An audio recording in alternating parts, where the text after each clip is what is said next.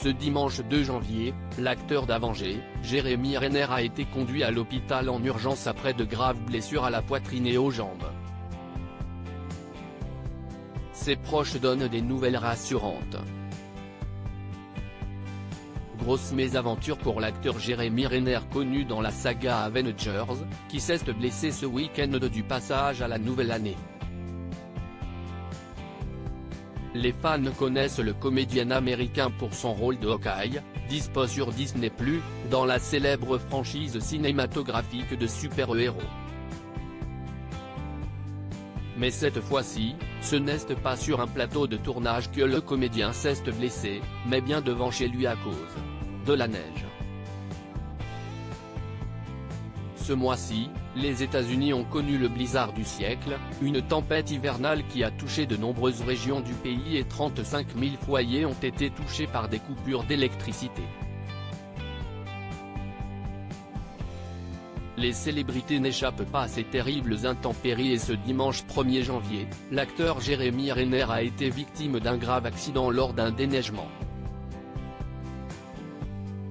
Critique mais stable, assure ses proches CIST devant chez lui, alors que Jérémy Renner essayait de déneiger un passage sur son terrain, dans le Nevada qu'il se serait grièvement blessé à la poitrine et dans le bas du corps.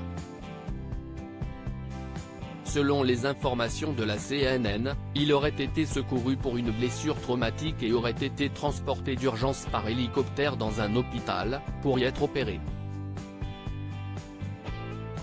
Selon ses proches, l'acteur souffrirait d'un traumatisme contondant à la poitrine et de blessures orthopédiques. Ce lundi soir, Jenner Renner se trouvait dans une unité de soins intensifs, dans un état critique mais stable, après avoir subi deux opérations. Jenner Renner grièvement blessé à son domicile selon des témoins, Jérémy Renner tentait de dégager l'accès de la route à sa maison quand l'accident a eu lieu. Alors qu'il conduisait une dameuse pour dégager la neige de son terrain, il aurait perdu le contrôle de la machine qui lui aurait roulé sur les jambes, comme l'a appris le site TMZ. CST un voisin médecin de l'acteur qui aurait commencé à lui prodiguer les premiers soins en attendant l'arrivée des secours? Il lui aurait fait un garrot en voyant que l'acteur perdait beaucoup de sang.